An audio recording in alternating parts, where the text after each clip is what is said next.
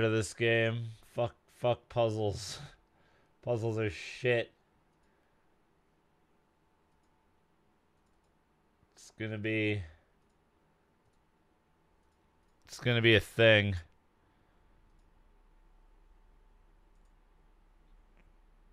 It's going to be a thing.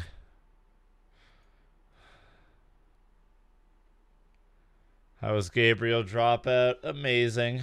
Just like the first time.